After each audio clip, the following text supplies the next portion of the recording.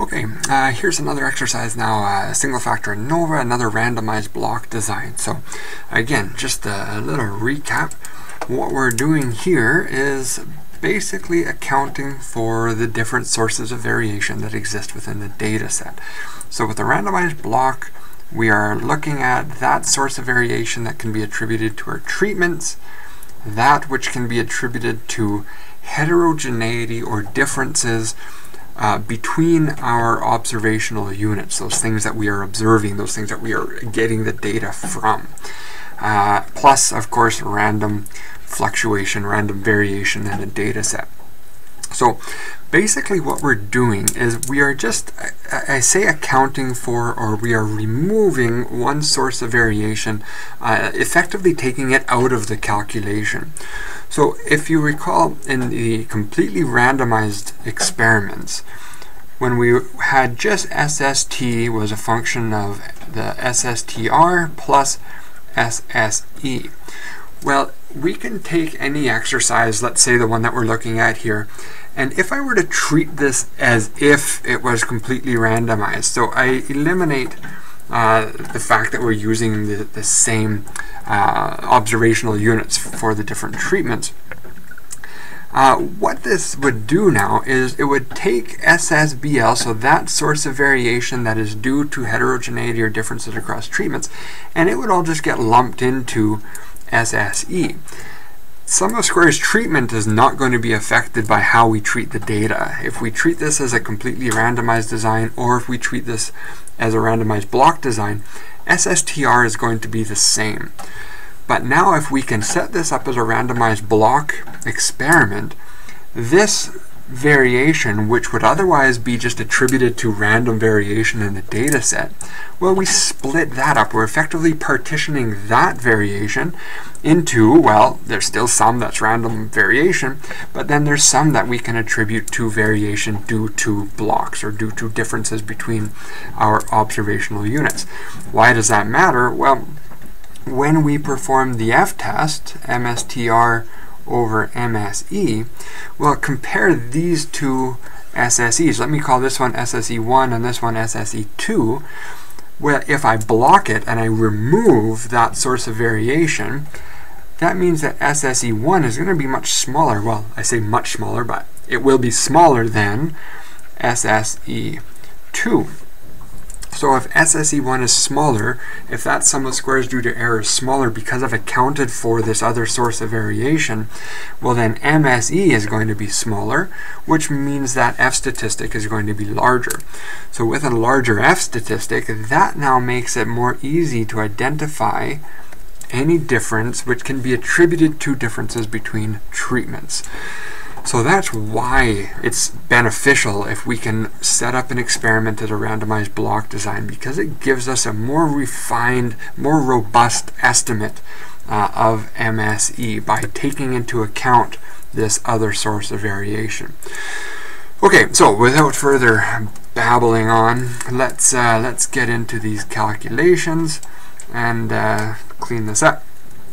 And we'll develop our full uh, randomized block ANOVA table. So here we have uh, dog food manufacturers developing a new brand of dog food designed specifically for less active dogs. They have developed two types of food with lower fat, higher protein blend of ingredients in order to minimize weight gain, a common problem among these lazy dogs. In order to determine if there's a difference between the two brands of food and the dog's regular diet, a group of five dogs were each fed the three types of food for a period of, of 30 days. So they were given each of the two new brands and they were given uh, their original diet. The data below shows the difference in weight between the first and the 30th day on the diet. Positive number is a weight gain, negative number is a weight loss. So here let's call these our three treatments A, B, and C. So K is equal to 3. I have type 1 and type 2 dog foods plus I have their original diet. And here we have our blocks, five blocks. These are our dogs. So I guess dogs are different by breed, they're different by size, their metabolism is different. So we want to take into account those differences and, and, and, and account for it in our calculations. So, uh, we are going to go through and complete our ANOVA here. We have um, SS due to treatments. We'll have blocks. We'll have error. And we'll have SS total. And here's sum of squares. Here's degrees of freedom. Here's mean square, F, P, and F not another P, F critical. Okay, so when we're going through any randomized block design, I always give my students either SST or SSE because otherwise to obtain SSE requires matrix algebra. To calculate SST is very time consuming. So here I've provided SST is 6373. So we can write that in down here and now we will fill in the rest with our calculations. So, our null hypotheses, we are testing, is there a difference between A, B, and C? Alternative, not all are equal. And let's just do alpha so 5 again. So the start SSTR. So our formula here, we're looking at differences between treatment means and the grand mean, which we still don't have. We add all of those up across our treatments and we multiply it by the number of observations in each of those treatments. Let's get our grand mean. We're going to need that for many of the calculations. So our grand mean, I'll take the mean of the treatment means. You can verify that taking the mean of the block means will give exactly the same answer, but there's always fewer treatments than there are blocks. So minus 0.6 plus 1.8 plus 0.4 divided by 3. So 0.53 is our grand mean. And if you take the mean of those block means, you would better get the same result, otherwise there's a problem somewhere. So let's uh, go ahead. So B is 5. And now we'll go through all of these differences with these three treatment means. So minus 6 minus 0.53 squared 1.8 minus 0.53 squared and 0.4 minus 0.53 squared. Okay, I'll get my calculator. You can always fast forward through these tedious calculations if you want. They're not the most entertaining part of the process to watch. Uh, okay, put it right over there. So, 0.6.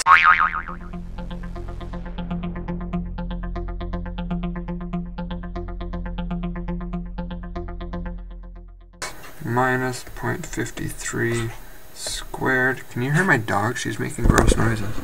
She's over here. Hopefully you can't hear those noises. I don't want to restart this video just because of that. Uh, okay, that's squared plus open brackets 1.8 minus 0.53 squared plus open brackets 0.4 minus 0.53 squared equals 163 and now we multiply that by 5 so 8.17 for our sum of squares treatment. 817.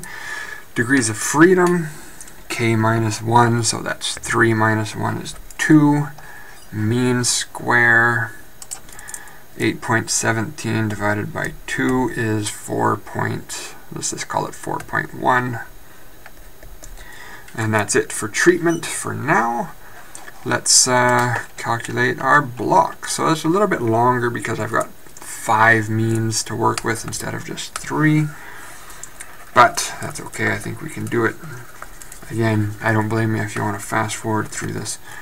Calculations are not the most entertaining thing to watch. SSBL. Now we're looking at those difference in block means and the grand mean squared add those up across all of the blocks and multiply it by k, the number of treatments, or simply the number of observations in that relevant block mean. So k is 3. Now we go across these five block means and the difference with the grand mean. So 1.33 minus 0.53 squared. Next one's the same, 1.33. Next one is 0.33. Next one's 1.67. Next one is negative 2.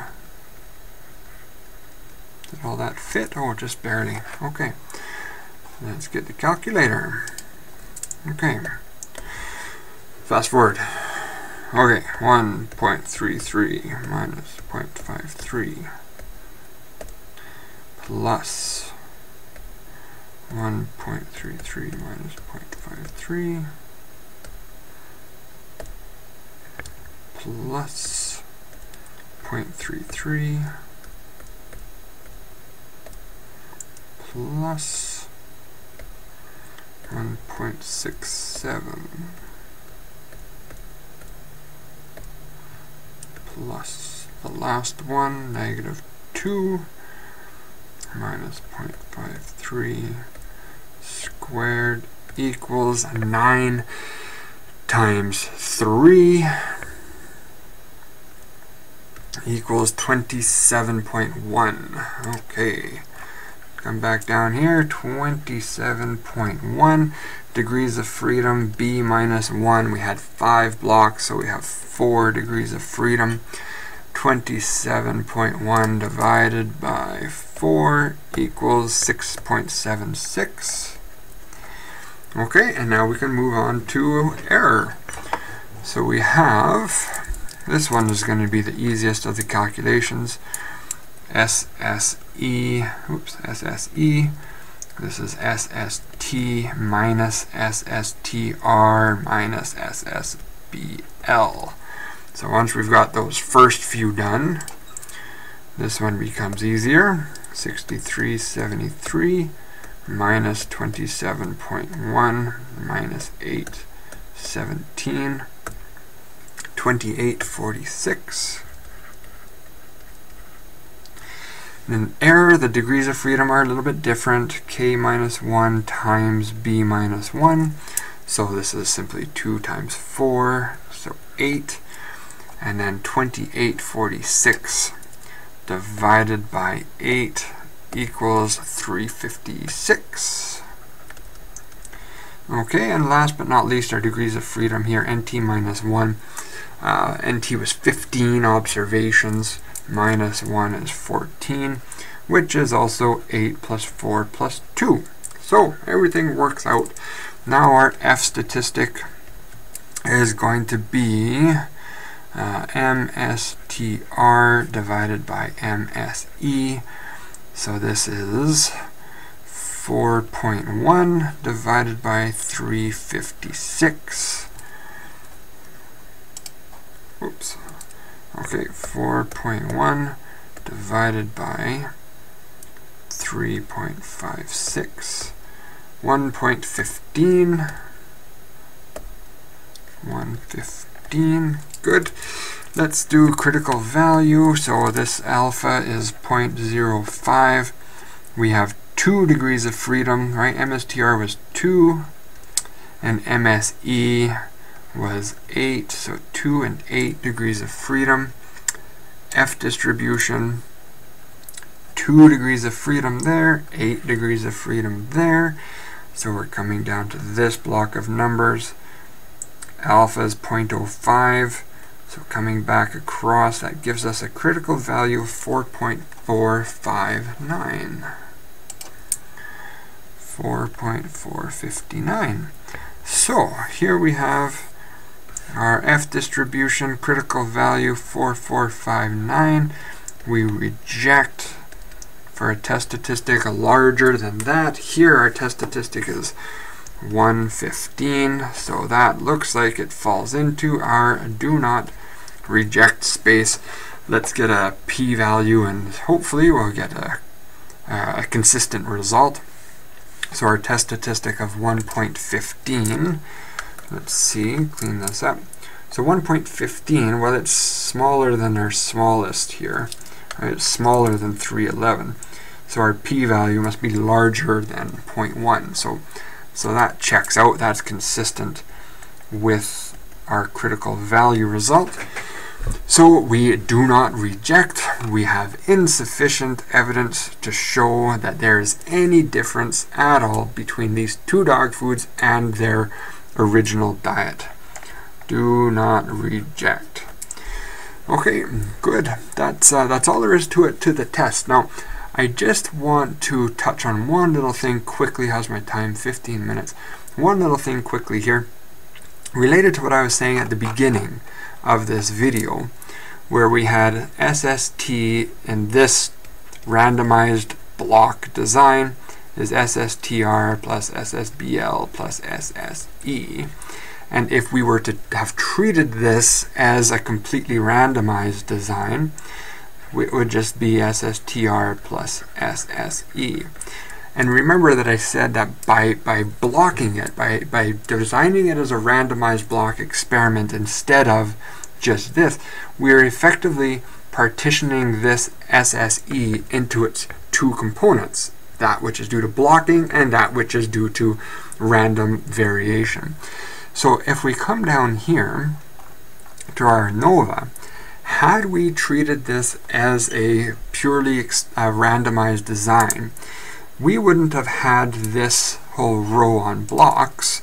This row would not have been here. And the result would have been uh, an SSTR that is still equal to uh, 8.17 and an MSTR that is still equal to 4.1. That part, uh, that would not have changed one bit. But this sum of squares would have been lumped into our uh, sum of squares error. So what we would have had for SSE, if we were to not have taken into account that source of variation, this would have been 27.1 plus 28.46. So SSE would have been 27.1 plus 28.46 would have been 55.56 which means that MSE, am I running out of room? No, MSE would have been equal to 5556 divided by the degrees of freedom, which then would be n minus k. So 15 minus 3, so that would be 12, which as you can see is 8 plus 4. And this would have given us, where's my calculator, 55.56 divided by 12, 4.63. Oops. So this would have been 4.63. So it doesn't look like a significant difference between 356 and 463. But if we come back to our F statistic, let me just put in our new uh, SSE, so 4.63. That new F statistic now, as you can see, is going to be somewhat smaller. 4.1 divided by 463, that would now give us an F statistic of 0.89. So, point of the story, I'm a little bit off topic here, but point of the story here is that by taking into account that, that additional variation due to blocking, we removed it from our estimate of uh, sigma squared. We removed it from our estimate here of MSE. So that gives us that gave us a larger F statistic. Now in this case we didn't reject and we don't reject in either scenario. But if we had not blocked it, here we can see we would have ended up with a smaller F statistic. It would have been even further down here, 0.89, giving us still uh, still stronger evidence uh, in favor of the null hypotheses.